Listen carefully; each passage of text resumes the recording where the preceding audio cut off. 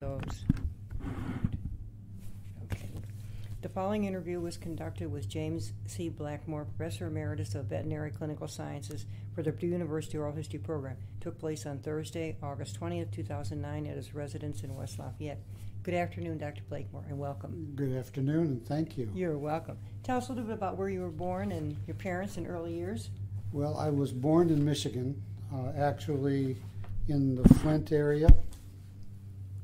At that time, it was a very busy place, heavily industrialized. In fact, at one point, we lived on Chevrolet Avenue, which was not very far from the Chevrolet factory. And as a kid, I got real excited about seeing all those cars and trucks driving off the line day after day after day.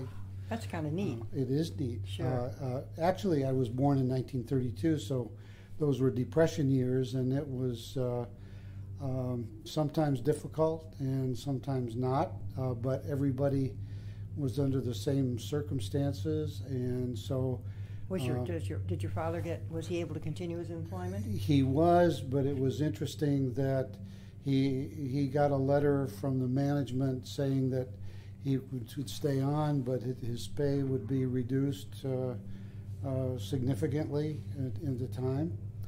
And uh, I remember clearly that during that particular time, it was a big deal to have Spanish rice with uh, for your meals. Uh, my folks did whatever they could to Sure. make it work. And I can remember too, as a kid, that um, milk came by horse-drawn wagon delivery, and so hearing the milk bottles clink was a very real thing. And uh, ice came on a horse-drawn wagon, and uh, that was pretty neat. All of that because the wagon would stop and the delivery person would get off and they'd whistle at the horse to move on to the next spot, uh, which was really neat. But in the summertime, when the guy brought ice, uh, he would knock off a little chunk and hand it to us. So that was even better than getting ice cream cones. right. There was nothing like a little ice there. There you go. It was, and Sure. then, and then uh, came the the war years, of course, uh, the first, the Second World War, and during that particular time, where my dad worked was making aircraft engines, and he worked uh, pretty much day and night because he was a tool specialist.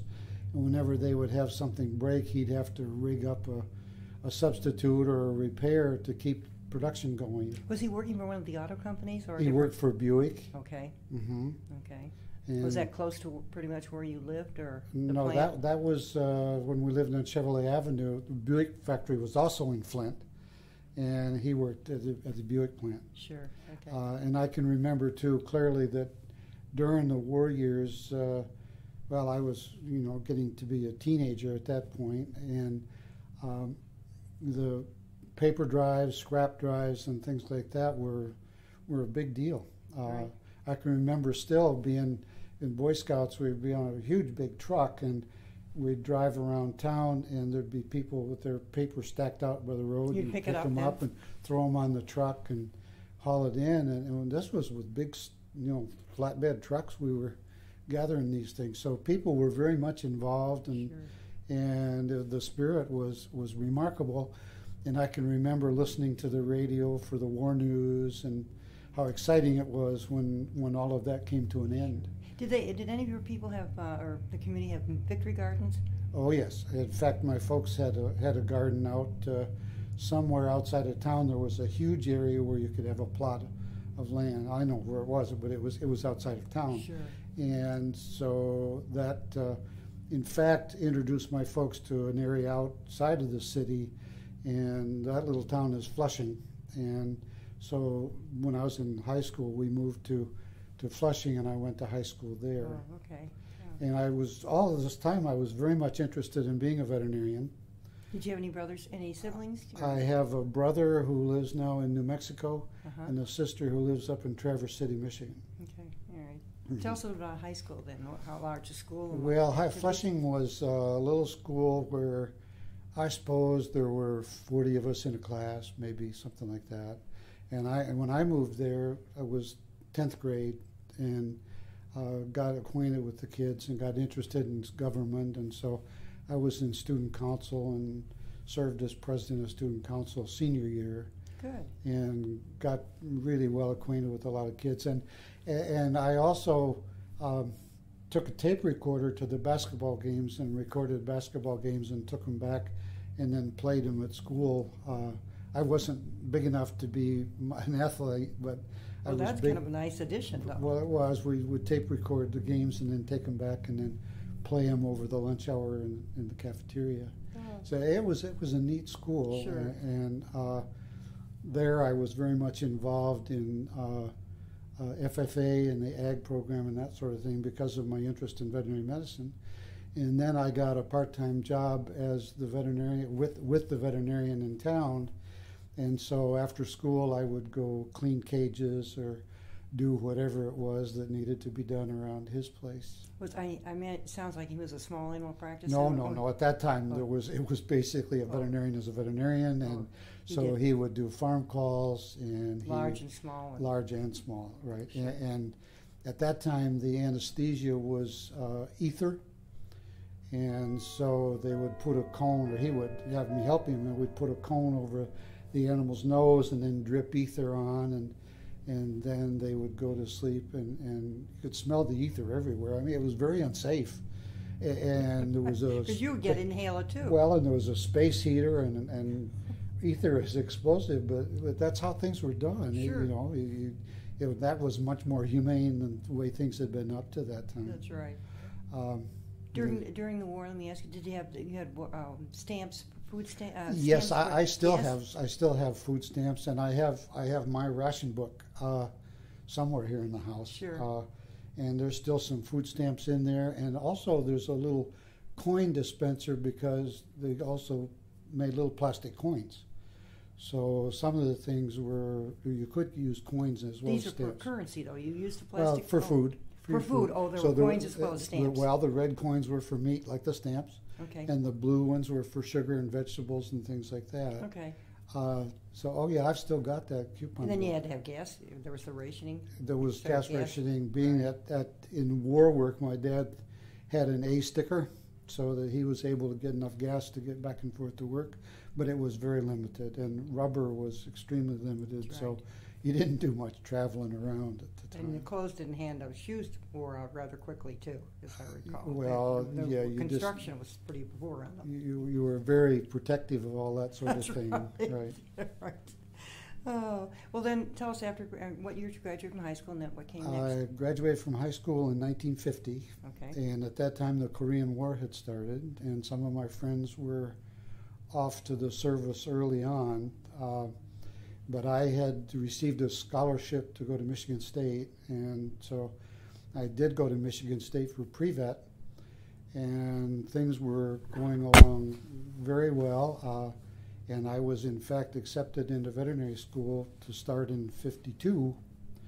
But the same week I was at home, and the same week that the letter came accepting me to vet school, also came a letter from the draft board saying, "Greetings, uh, you are invited to participate." And so um, I debated about this for a while because I could have gotten a deferment, but the truth of the matter is I was pretty broke and had been working two part-time jobs at Michigan State, one as a theater usher and one in a drugstore as a soda jerk and cleanup boy and whatever else they Sure. needed doing. And so uh, I decided that since the GI Bill was was within reach, uh, that I would go ahead and accept the draft notice. And so I was drafted in 1952 into the Army in the summer. And I went to Fort Custer in Michigan. Uh, and because of two years of college, they kept me there for a couple of months helping to uh, or to bring in new inductees. And my job was to interview inductees and work, look up in a book and try to determine what would be their military uh, occupation code called MOS, Military Occupational Specialty. And so that was my job is to, to interview them and look it up in the book and decide on what code was appropriate. And I was so I was there for Sure, a couple of of months Yeah. and that allowed me to go home uh, weekends and things like that. And was on one of those weekends that I met my wife at the drive-in she worked at. And so later, after I got out of the army, why, then then we got back together. Sure. Uh, so I was at Fort Custer, and they, because of working there, they allowed us to choose where we would go to basic training.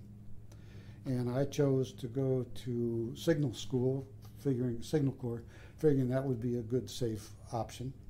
And so we went to uh, Camp Gordon, which is now Fort Gordon in Georgia, Augusta, Georgia. And it was nothing like the Augusta golf, golf course, I can tell you. Uh, I'm sure. basic, I'm basic, sure that's true. basic training is a very different uh, experience. So I was there then for basic training, and then when that got finished, uh, they sent me to Fort Monmouth, New Jersey, which is just near the Jersey Shore, uh, to radio school. And so I learned to be a radio repairman there.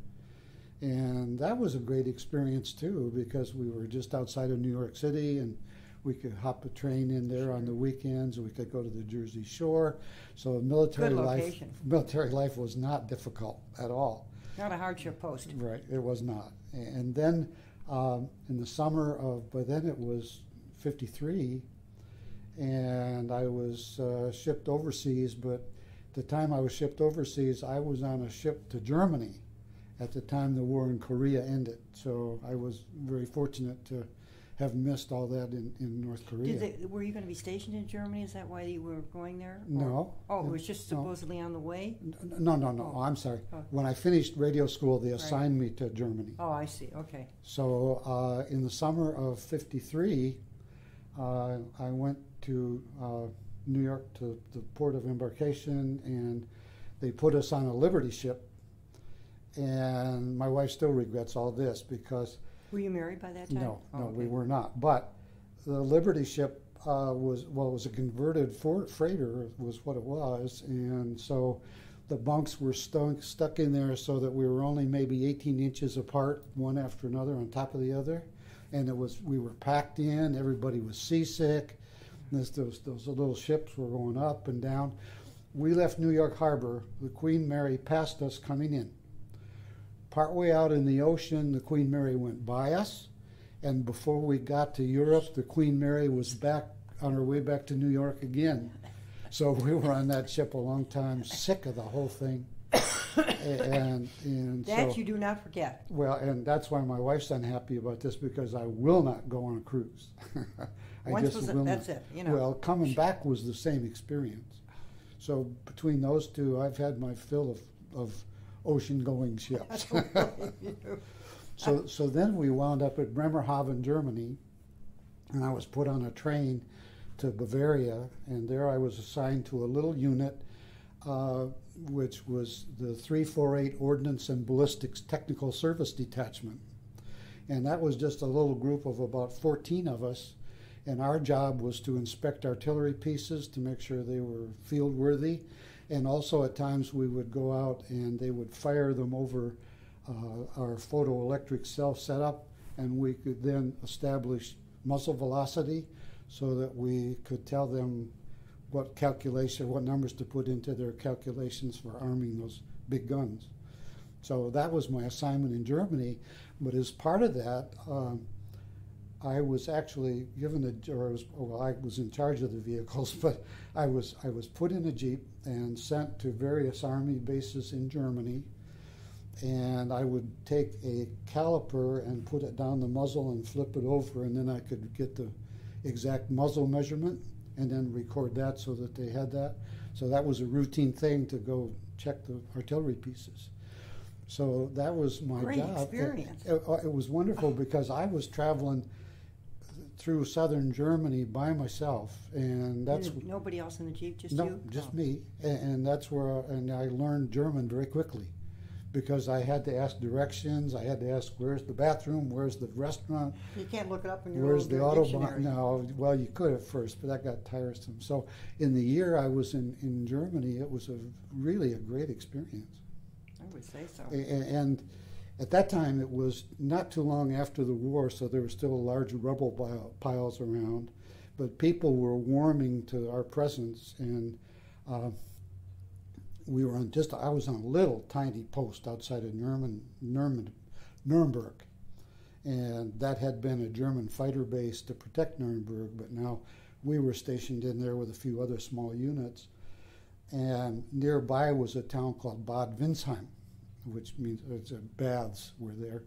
And so uh, I remember going into town, and there'd be the the old city hall tower, the Rathaus Tower, and you would pull on a wire, and a lady would look, an old lady would look down, and you would holler up "Schlüssel bitte," which means key, please, and she would take this big iron key and throw it down, and it would bounce a few times, and then you could open the door, climb the stairs to the tower, and then you could uh, look out over the city. So I have some nice pictures of the rooftops of Bad Windsheim. Super. And we were also not far from Rothenburg, which is uh, the, about the only walled city that was really survived the war very well.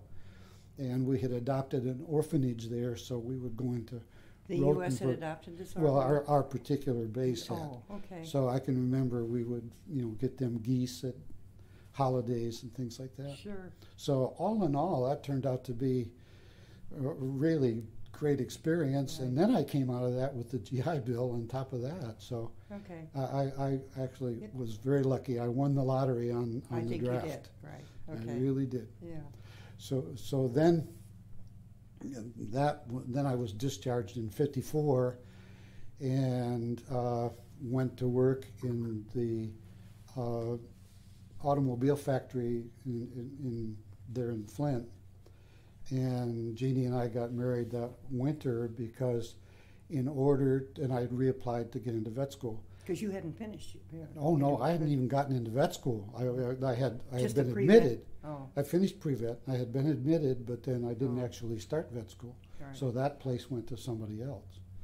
So then uh, we found out that in order to to live in married housing, you had to file very early. So we married in, in December of 1954, and then it was in the spring of 55 that I was accepted back into school, and uh, then we went to East Lansing in 1955. okay. So then that's when I started uh, vet school. And the day that vet school started was the day our son was born. So now there were the three of us to go to vet school. And we did. We lived in married student housing. And that had recently been barracks for military, During right? like during our the war. permanent temporaries. Like very temporary. in fact, after we graduated, they tore them down. They were Uh, done with them. Not as long as ours were. No, so those those were torn down, but it was it was great housing for us. We were in the barracks at the end apartment, and I had 200 feet of fence up around the end of the building for a yard for our son. So it was wonderful living So nice. conditions. The end is always pretty good. I think, It was you know. great. Yeah, it, it, was, was it was it close to campus too? yes, it was Okay. within walking distance. Uh huh. And, and it had a space heater, an oil heater, and the walls got icy in the winter, but who cares? Yeah. and it, it was very inexpensive. We could afford it. The GI Bill kept things very much uh, workable for us. Jeannie worked uh, uh, part time, worked full time some of the time until our son got to the point where she didn't want to leave him with somebody Sure. else. Right. What sort of work? Where did what sort of work was she doing? Well, she was doing working clerking at Sears, Okay. That's Uh-huh. good. I like retailing. I've done that myself. You get a great discount. right? and, and then and then she started uh, a daycare program and had had some of the neighbors' kids for a good share at the time before we graduated. Oh, that's good. So then I graduated in 1959, Okay. And I was wanting to go into private practice in Michigan, but uh, I was offered an internship at uh, University of California, Davis. And internships are a very interesting sort of uh, development because it was very new to our profession to have internships and things like that. Uh, it was either grad student or internship, and uh, I kind of wanted to do that, so I spent a year in the clinics at the University of California, Davis, in their vet school, which was a very new school. They'd only been in existence for five years. So there, the staff was very small. Uh, I was, uh, in fact, I, I became as an intern, I became advisor to the student chapter of the American Veterinary Medical Association. Uh, uh, so it was a neat experience there too. Did your wife and child, child go out there with you? They, oh yeah, we were there, uh, and our second son was born while we were there in California. Okay, yeah. And we got to do a fair amount of exploring on weekends and things like that. So. I think that campus has probably grown over the years, but it is a pretty large campus. Well, Uh, at that time, it was very tiny. Oh, There was no med school. There was no engineering school. There was, there was just a. Li- it was but a, if- the vet school was there though. the vet school had just been built there, Oh, okay. and that was about. It wa- it was a very small campus. Uh, in fact, when we got to, we drove to California, and when we got there and drove into Davis, uh, we thought that was a little strip mall for a bigger city, but it wasn't. That was Davis. that was downtown Davis. so it was very tiny at that time. Uh, then what came next after that? Well, then after that, uh, we moved back to Bay City, Michigan to work in the practice that I had been going to work in. Before and- you went out to Right, California? and Bay, Bay City is right at the mouth of the Saginaw Bay uh, in the lower part of Michigan. And so I went to work there, and it was a again a small practice with one person, and he did everything there was to do. And so the clinic was a two-car garage, and half of it was still garage. People would walk up to the front to the waiting room, and and half of that front was wait was for them to sit, or a little piece was for sitting, and the rest was our exam room. And so, if I were doing a summer trim on a dog and saw somebody drive in, I would quickly put the dog in the cage, clean up the room, and then be ready to, to greet this person to see what they what they needed for you got us some to great do. experience. Isn't that wonderful? Oh, it was amazing. and and uh, he had established a practice and had lived there quite a long time. And he wanted to get away from living so close, so we moved into the house on the grounds. oh, you was- did. You're, We did, and it was a Uh-huh. big old farmhouse, and he had people living on the second floor also. So it was a big old farmhouse, and we lived on the first floor, and the clinic was out here beside the beside the building. And uh, I remember one night, car came tearing down the road, brakes screeching, and the guy came in. I looked out, and the dust was swirling in his headlights, and he came to the door, and asked him what I could do, and he said, "Well, my dog's not well. Can you see it?" And I said, "Well, sure. Uh, meet me out there at the clinic." And he said, "Oh, I got to go get it." So I went out to the clinic, and he got in the car, slammed the door shut, and roared out the driveway. Hours later, I never saw him again. Hmm. He just he didn't come back. I don't know whether the animal had died or what had happened, but he just he never did get back. But that was the kind of thing that would happen in a in that sort of setting. sure. And then there was another day that, uh, uh, and mind you, now I had been two hours in two years in the army, uh, all through vet school, a couple years in the fa- or a year in the factory, a year in an internship. So uh, one morning, a guy pulled up early, and my wife answered the door, and he said he had run over his dog with his bicycle. Could we check it? So she said, "Sure, take it out there, and my husband will be out in a minute." Well. I got dressed and ready, and I went out and I let him in. I examined the animal; it seemed fine. I said, "Well, let's let's us keep it through the morning and make sure there's not something that we're not seeing." And uh, so he said, "Okay." So he left it. Well, a couple hours later, the guy that owned the place was a big old, tall, very acerbic, red-haired guy, and he walked in. He says, "Ha ha, big doc." He says, "Tell me what's going on." And I said, "What's the matter?" He said, "Well, we got a complaint about you." And I said, "What's that? What, what's happened?" He said, "Well, did you take in a dog hurt by a bicycle this morning?" And I said, "Well, yes, I did. You want to have a look?" He said, "Well," he said, "the guy called the Humane Society and complained that I was sending my kid out to check emergencies." so they thought that I was the owner's kid checking the dog. well, my lord. Ah, Mhm. yeah, interesting. But that's the kind of thing that happens in a little In environment like small- that. That's right. Oh, yeah. And then uh, we also, at that time, the state of Michigan was doing tuberculosis testing. And so we uh, had a an area in Michigan For a humans little bit and animals as for well? for cattle Oh, okay. for cattle, and so we were testing cattle up a ways from well, it was around Midland, Michigan, and most of the people there worked for Dow in the factories, and and they had gentleman farmer type things where there'd be a few head of cattle in a in a pen, and that's about it. Well, this was the dead of winter. This was like February or so. We went to this, I, I, I, he didn't go with me. I was by myself. Uh, no, I'm sorry. We were together, and we stopped, and here was this bunch of Angus cattle, about no, almost up to my shoulders, I suppose, in a pen outdoors, with no no barn, and, and there was a heater in the water tank. And here were these cattle just loose. And tuberculin testing, you raise the tail, and you inject a little tuberculin in the tail fold, and you come back two days later to see if there's been a reaction to the tuberculin. Well, imagine an un, uh, basically not housebroken Angus calf that tall, that big, and you're trying to raise the tail. So what we finally had to do was head them into the corner, and while they were struggling with each other, raise the tail and get it injected. and it was so cold that you'd get the tail up, and the tuberculin would be frozen. Then you'd have to stop and thaw the tuberculin, get the cattle back in position, and then get the Try it injection. again, right. Oh, you know. so that that was it was that kind of interesting. but but like with with uh, all creatures great and small, I can remember being in a in a fantastically beautiful dairy barn. There was some around Frankenmuth area in Michigan. There's some big old German farms, and the dairy farms were wonderfully clean and nice. And so, in a cold winter's day, you go into the dairy barn, and it'd be warm and sweet smelling, and and it was wonderful. In fact, I would lean against the cow to listen to her heart rather than put on the stethoscope.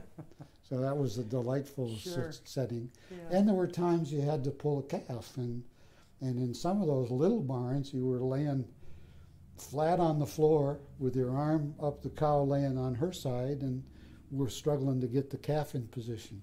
sure. And I can remember one experience that my grandchildren think is so fabulous, and that is I had my hand in the cow's rectum, but that's not a very thick walled organ, the colon, and the calf had its fingers or its mouth around with the uterus pushed over this and now sucking on my fingers.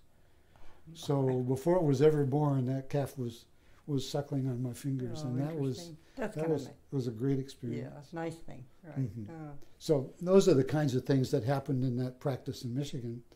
And I had no inclination that I wouldn't just stay in Michigan. But at about that time, Dean Morse had been appointed to come here uh, to start the vet school.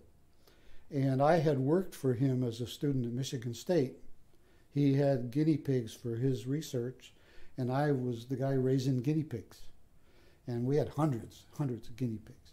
And so uh, that had all gone very well, obviously. And so one day a phone rang and he asked me if I was interested in interviewing for a position here at Purdue.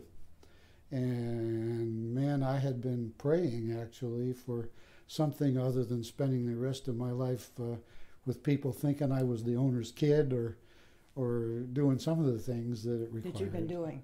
Uh huh. Yeah. Right. And I was I was only earning well, uh, what I was earning was our housing and a hundred dollars a week. That was it. That was our pay. Uh, And so I was very interested in any other offers at the time. sure. And so we came here in, in the winter of, let's see, California back to Michigan in 60. So it was in 61 in the winter that we came here to interview, and uh, they offered me a position. And so uh, we took the job, obviously. And so the summer of 61, then we moved to, to West Lafayette. What? Where did you live when you first came here? We lived on Happy Hollow Road, Okay. uh, across from what was the West Lafayette Water Company at the time. oh, does Catherwood would be Cath- Catherwood Estate? well, where down- Catherwood is now, where where PRF housing. The houses yes, were down there. yeah, sure. the university owned the houses and, Right. and had them available for for people moving here until they got located and settled and all. So yes, we lived in a house That was one. a handy, that's a handy location. Oh, it was a wonderful Sure. location. We were very happy with it. Yeah. Um, and at that time, when I came here, uh, there were that made three of us in the small animal clinic. That was uh, John. Oh, why is why is this missing me? It'll come back. Uh, anyway, there were three of us, and there was a guy that was brought here to start the small animal clinic, Andy Lavagnette, who was came after him, and then me. So there were the three of us, and uh, Annis, John Annis. So it was John Annis and uh, Andy Lavagnette and me. That was it. That was the three, the And of faculty. course, Lynn Hall had been, had been dedicated already in nineteen sixty, correct? So that right, was. that had been dedicated. The school, the classes had been started. So the first class was in their second year, and in the fall of '61, they were to start their third year of vet school, Okay. which is when the clinical training started. So when we arrived here in July, there were no students in the clinics. Uh, there were just a few patients because we were trying to get a practice going to teach students with. Sure. Uh, the place was virtually empty. We were still unpacking equipment, stocking shelves, and, and developing procedures, uh, planning courses, and that sort of thing. And then and then we opened the doors to the clinic. People started bringing their animals in. So it was, it was open to the community as well as the university? It was open to the Always clinic from the very big, from the, hmm. to the public from the very beginning. Okay, And in fact, we encouraged that because we wanted our students to see what things are really like with primary care. right. And at that time, secondary care was not a very big issue, to tell you the truth. It was more like we were going to train students to be private practitioners, and nobody was thinking interns, residents, specialties, and that sort of thing. There weren't any specialists. And so there were the three of us, and each week, uh, well, each day, we would take turns with the next case in. And so case might walk in the door that needed vaccinating. The next one coming in might have diarrhea. Next one through the door might be scratching. Next one may have a broken leg. Uh, so they just we just took them as generalists, came. one after the other, Sure. in order. And this went on for the first couple of years, actually. And the students were in the, then you finally Well, we got students? students in in the summer of, uh, in, I'm sorry, in the late summer of '61, or in the um, no, then we weren't doing summer clinics, so it was in the fall of '61. Okay, So we had the summer, uh, July and August to get, and some of September to get the practice actually going to a point where we could accommodate students. right. And uh, with all that going on, we took turns taking emergency duty. So, along with everything else, every third week we had emergency duty. And that meant uh, nights, weekends, whenever there was a call, uh, you took it along with whatever else Sure. you were doing. Right. Uh, and we had one woman who was the receptionist, but she also kept the records, made the appointments, kept the books, cleaned up the front room if it needed cleaning between cases. Uh, so she was do everything person. And in the back there was one man who cleaned kennels, held animals for us, and helped to stock shelves or whatever need doing. And that was it. The three of us and those two people. Having, having taken my cats there, I know the small animal, you know, I've been there. It was, that's a, it's a lot different today. Oh, it's it's it's so different. I, I'll tell you, I, I couldn't have imagined then what it would be like now. In our dreams, we believed it would grow, but it seemed to be growing so slowly in those early years. You know, because there were the three of us, and we were developing the courses, and then we wanted to get a referral practice going, so we spent a lot of time going to meetings around the state where the veterinarians were meeting in their locality to give talks, to get acquainted, and invite them to refer cases here. So then things started to come to us on referral. And as that happened, then there were some things that occurred in greater numbers than others. And one of those was broken bones and joints. And so John Annis started specializing just not as a learned specialist, but as a, a, a need to take care of those. Andy was interested in eyes, so he took those cases, and I was interested in skin disorders and that sort of thing, and so I took those. And then we took everything else besides, of course. But Sure, we tried to kind of develop some some expertise. Some sort of specialty, so they, they could help if there were some special things Right, so we could do better for those cases than that required that. Right. Yeah. And so then, after a few years of that, we were able to get funding for an intern. And so he came and he was our he was working with us and then he's we got funding when he finished up we got funding to have him stay on as a sort of an adjunct not really a for permanent person but to stay on so now there were four of us and then over the years, uh, we gradually were able to add other individuals. And then, of course, uh, internships became a, rea- a reality. So you basically, if you were going to call yourself a vet school, had to offer internships. And then in the 60s, we began to develop residencies, which was still more advanced training. And an, internship would be one year. And there was sort of a rotating insur- internship through all of the services we offered, whether medical or surgical or whatever. Um, and then we got to the point where we could offer residencies, which is to keep somebody for two or three years and let them work toward a graduate degree or at least specialty training and train to take the board exams for that specialty. But I can tell you that during the time that there were the three or four of us, I can remember I was teaching surgery, and nowadays I, I would I would shudder at this, but I can remember I was I, I was teaching one of the surgery courses, uh, and we had surgery labs, and I had kids in lab doing surgeries, and somebody came to me and said, "There's an animal." Downstairs, that we were doing an insecticidal dip on, and it's seizuring. You got to come. And so I would leave the lab to go down and, and help with the seizuring dog and have somebody from the lab come and get me if there was something real bad going on.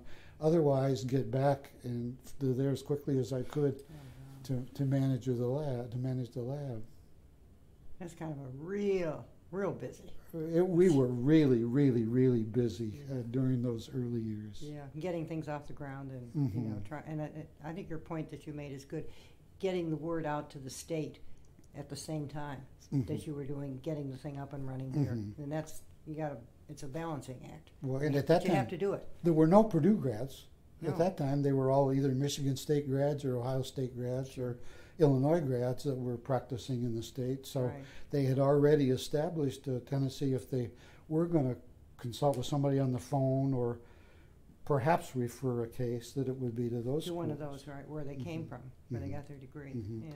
And referring patients was still not all that much of a, an activity. So it was sort of, you know, a big deal to to have somebody referred to us with, with a patient. Yeah. And then, then as part of that, uh, we started the internal medicine specialty. So I was a charter member of the American College of Veterinary Internal Medicine, uh, helping get that go. And then dermatology, at that time, we were part of that college. But as we developed our numbers and our skills and our abilities, uh, and that was around the time I became an adjunct professor in the derm department at IU to help learn some things that I could make use of and also to share things with them, particularly about disorders transmissible between animals and people, skin disorders. So there was there was some interchange there, but I was learning a lot from those people, which had to happen. Sure. And, and so then we developed our dermatology specialty, and I was the person who represented our specialty to boards in Chicago to get our specialty approved and recognized. And then we put together all the things we had to put together to become recognized as a specialty. And the hoops were pretty big a constitution, uh, rules and regulations, exam that they would that they would consider reasonable and certification. appropriate. Sure. And then we were on, we were finally established in '64 or so, And then uh, we eventually got approved, and the American College of Veterinary Dermatology became a specialty. And so I was uh, early in the officers of that and that sort of thing. Served as president a time or two, I guess. So It's nice to see things like that come to fruition, isn't it? well, it is. It's wonderful. With that- all the work that- but that that is the neatest part of it all is to see things form and develop and, and progress. Right. Um, we you, you need to see that. Hopefully, if you're going to see it. oh that that's a, a wonderful that that's the greatest aspect of all this because as it stands now, I can remember kids that came here. One in particular, she came with her parents when they they brought their animal, and I saw them. And that little girl said, "You know, I want to be a veterinarian." And so we talked some, and by golly, later she was admitted to the school, and now she's the, a faculty. Here, Yep. Uh-huh. and now she's a faculty member at Cornell. Isn't that nice? And then there's another family that came here. Uh, uh, they brought their little Boston Terrier, and the little red haired girl showed me how she would pour Coke in her hand, and the dog would drink from her hand. And that's Barbara Sparby, who is uh, West Lafayette City Council person. Or she was, she's not now, right. but she was. That um, Be- Bev Burwell's daughter. Burwells, right, the Burwells. right. Right. Mhm. Jim and Bev Burwell. Right. So I've I've known them ever since she was just a little girl with a puppy. And that is so neat That uh, as a nice. part of this to be Yeah, involved in That it. is nice. Yeah. Mhm. and, and there have been other kids, of course, along the way. This like this fall conference, we've got people coming to speak who were um, interns here, or residents here, or graduates of this school, uh, who are now coming back as uh, qualified experts and speakers, and that is so, So neat nice. to see that It- take it's very special.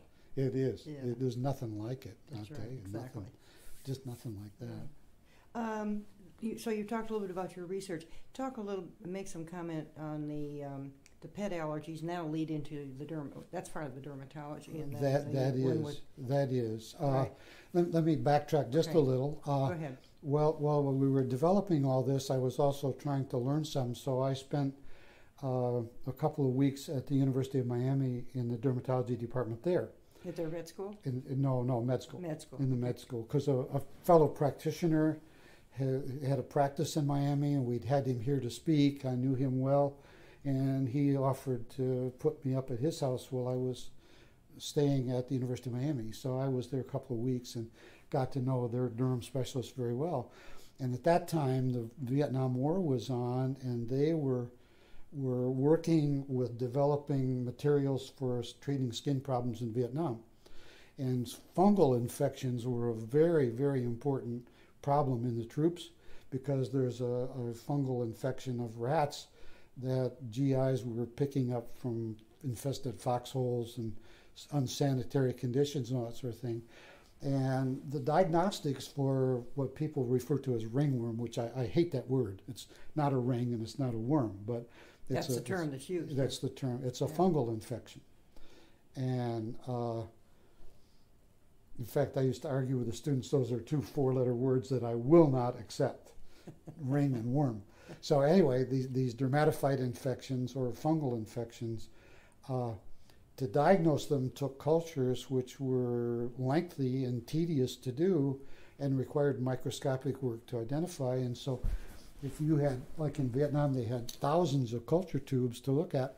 These guys developed a way to put a color indicator in the agar, and when a dermatophyte grows, it produces an alkaline medium, which then helps to dissect the keratin in the skin and allow penetration.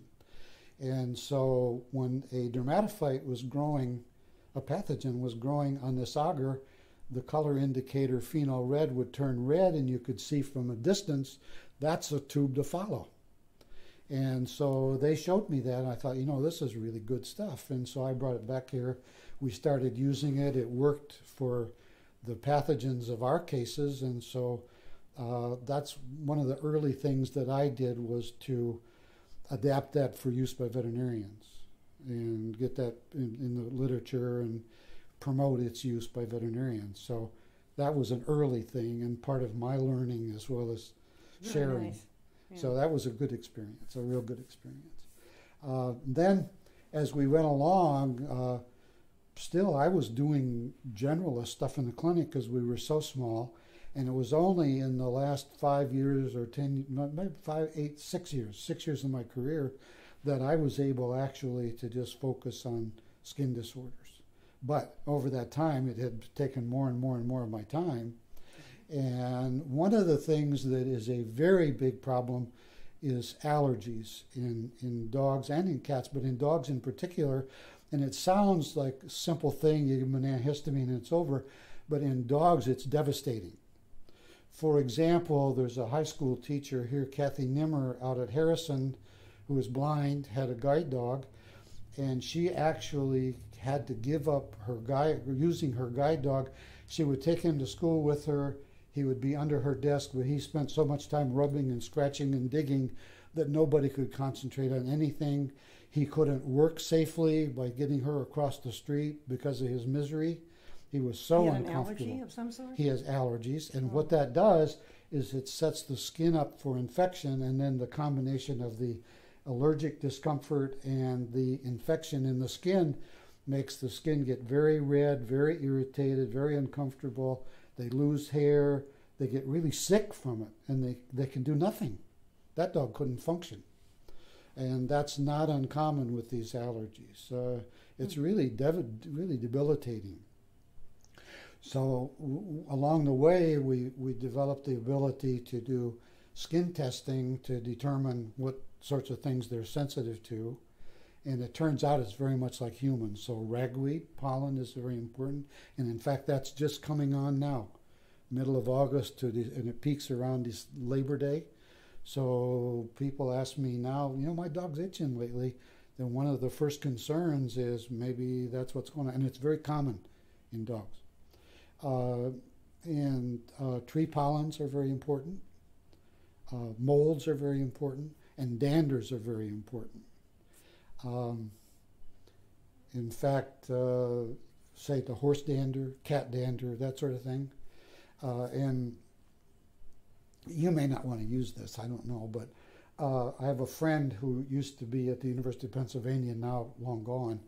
Uh, he was a crusty old guy, and, and he was doing allergy testing and that sort of thing. And there was a lady came in that was really a pest to everybody until she finally convinced him to allergy test her dog. So she he was doing the test and she was pestering him and driving him just absolutely batty. And oh no, don't do that. Oh, it'll hurt. Oh no, what's that? And she was really making him miserable. So he got the test all done and he looked over the results and she said what what what, what do you see he says well your dog is allergic to pollens and dust and human dander and she says human dander she says oh my god what do we do and he says we're going to have to put you to sleep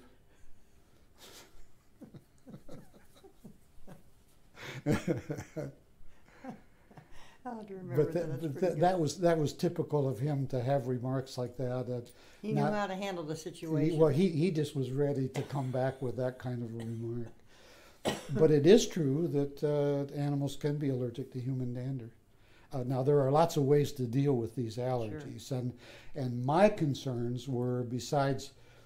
Uh, well, we, we do give allergy shots, and most of the time, we I tried to teach the people how to do the injecting themselves, and then they would get the materials from me, and I would provide the formula for each season. I don't know that anybody else even now does it this way, but there's a little different mixture for each season, and there's six seasons basically: winter, early spring, spring, summer, fall, the transition between fall and winter and winter. So altogether, there's six different time periods. And so I devised some software to make formulas that would help us to proportion how much tree pollen to use in early spring versus how much ragweed pollen to use in this time of year and that sort of thing. So it varied. So I provided the people with the formulations and then they would get from me the individual antigens in their vials. So here would be tree pollens, here's grass pollen, here's house dust, here's uh, ragweed, etc. And so they would do that, and then uh, we would train them to actually do the in- mixing and do the injections Oh, doing home. the mixing as well. Yes, Oh, they, they were to use my formula and then make the mixture at the time they needed it.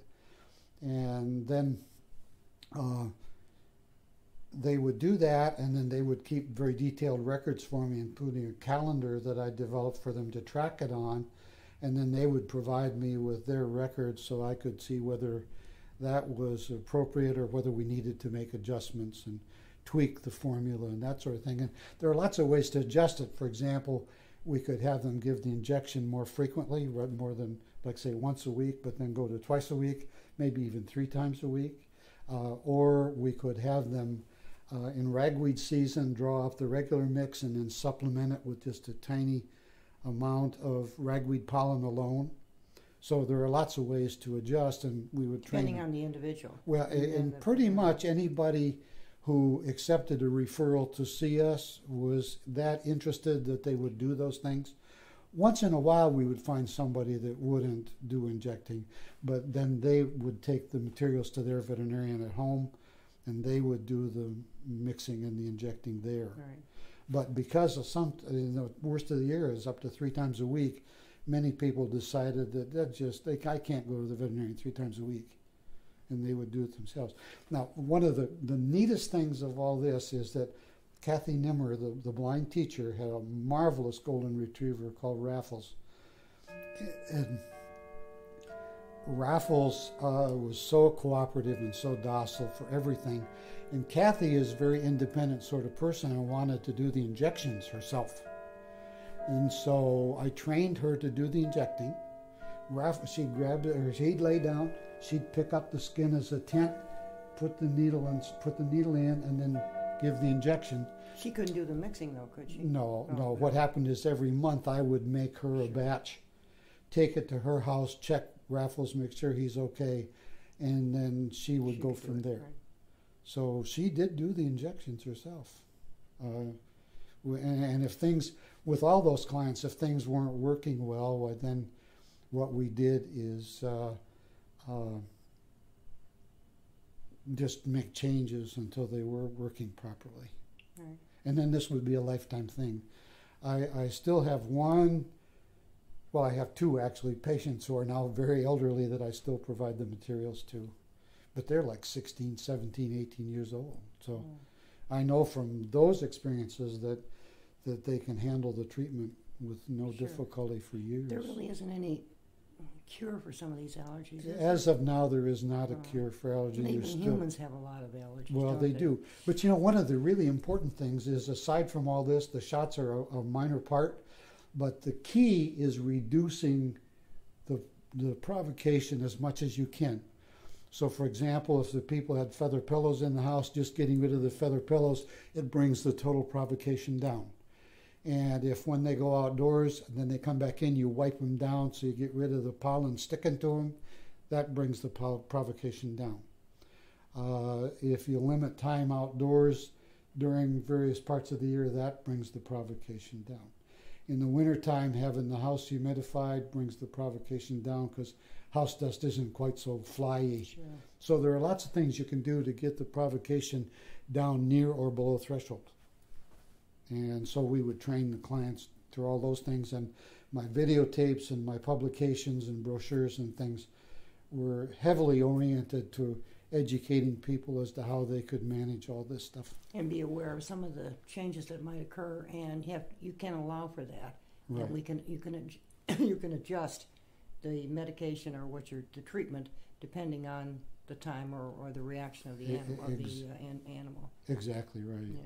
So now the, the buzzword is evidence based medicine, but actually you can go back several years and look at those records that people made every day. That's evidence based. Because that's how we based our treatment is on. Did you get a lot of referrals from the state? Uh, We got referrals from all over Indiana, from southern Michigan, from Chicago, a good bit of Illinois, Kentucky. Yeah. Yeah. Um, tell us a little bit about that. Um, this the slide bank. The The slide bank. Yeah. Okay. Over the years, uh, because that sort of follows a little bit with, with the allergies. It- well, it does Sure. very much so. Over Right. the years, uh, I had been collecting pictures of skin disorders in animals of all sorts. Uh, and there are now some 6,000 pictures. And so I started uh, a slide bank to make these available to, to people and to encourage my um, colleagues to contribute to those. And we ran afoul of technology because I spent all of my resources and time on making video discs. And so there's some wonderful video discs around that nobody can use. So I'm painstakingly now digitizing all those pictures. So the slide bank exists, but it's very difficult to use until I get finished digitizing. Digitizing. And that's slow, tedious work I would think it would be. because those are huge files, and and by the time Those you video edit discs, each, yeah, right. and you edit each photo. Mhm. Yeah, So, but anyway, that was the the idea uh, for the slide bank, and it was very exciting. People were very interested in it, but we ran afoul of technology. Are, is it still, are you still con- being, is it still being kept up? Yes, I'm still working on it. Okay, Mhm, okay. Is mhm. there any other similar, uh, any other No, no. facility? You're the only one? No, that's it. That's for veterinary medicine. That is, that's what there is. And you're And- keeping it current? well, no, it's Oh. not current because until I catch up, Oh, I'm not wanting to get more stuff right, together. Okay, okay, okay, Right. It would be easy now with digital, sure. but uh, right now it's not active except for my work digitizing. Right, which is a real challenge. I'm going to stop for a second and ask, Certainly. ask